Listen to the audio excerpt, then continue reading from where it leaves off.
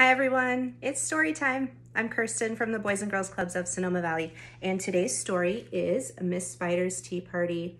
David Kirk wrote this story, and he also painted all of the illustrations, all by David Kirk.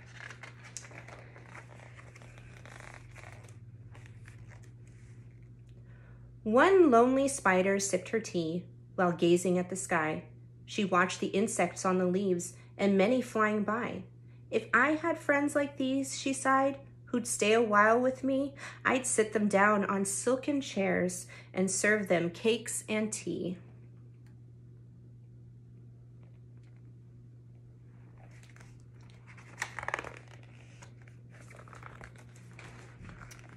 Two timid beetles, Ike and May, crept from the woodwork that same day. But when Miss Spider begged, please stay, they shrieked, oh no, and dashed away.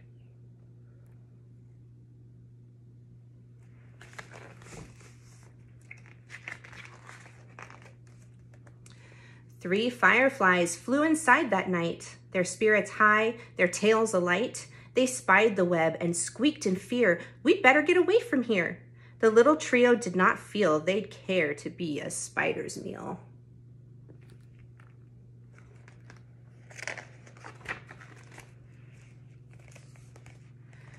Four bumblebees buzzed by outside. Please come to tea, Miss Spider cried. The four ignored her swaying there and waved a tea towel in the air. She took a cup and tapped the glass. Then one bee spoke to her at last. We would be fools to take our tea with anyone so spidery.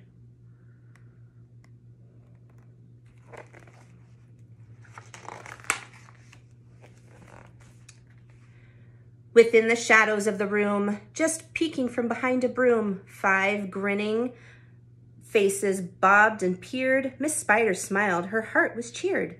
Descending for a closer look, she danced into the gloomy nook, but sadly found those jolly mugs, alas, belonged to rubber bugs.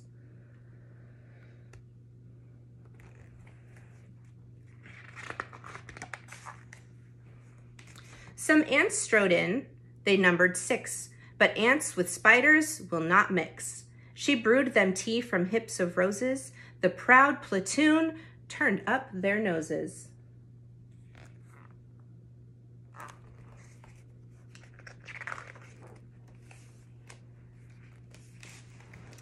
A fine bouquet concealed its prize of seven dainty butterflies. Miss Spider, watching from the wall, was not aware of them at all.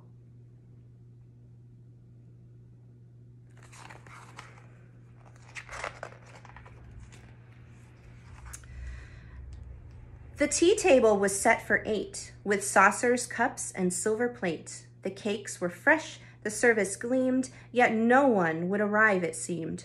Her company, in no demand, left a cup for every hand.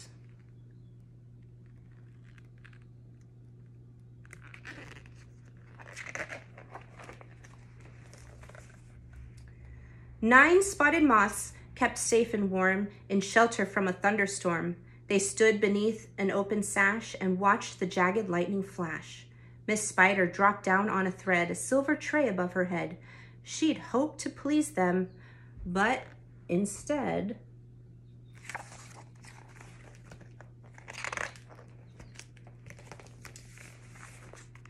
they flew away in mortal dread.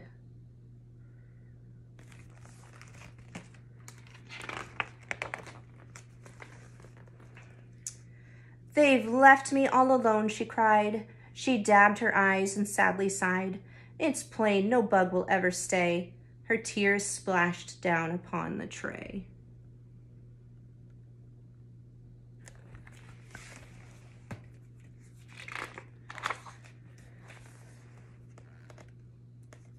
Ten tiny steaming cups of tea were perched atop her trembling knee. She sipped and sobbed, then heard a cough and turned to see a small wet moth, a fragile thing so soaked by rain, his wings too damp to fly again.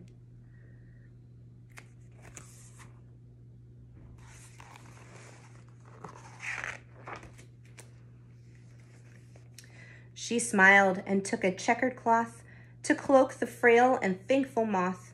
They talked and snacked on tea and pie until his tiny wings were dry. Then, lifting him with tender care, she tossed him gently into the air.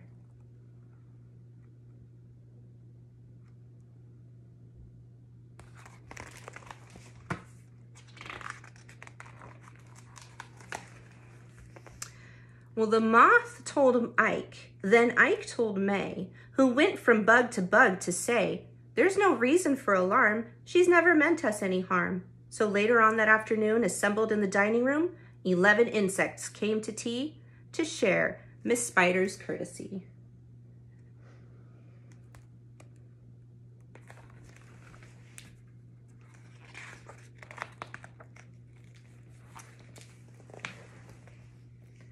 Twelve tender violets in a vase presented at Miss Spider's place, set by her chair so neatly spun. She munched the blossoms one by one. Her friends were glad to watch her feast upon the floral centerpiece. It was a great relief to see. She ate just flowers and drank just tea.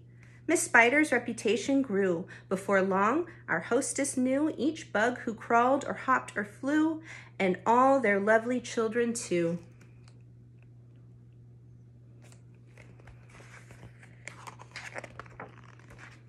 Oh, and that is the end. And look at all her friends. Okay, guys, that's it. I'll see you next time. Bye.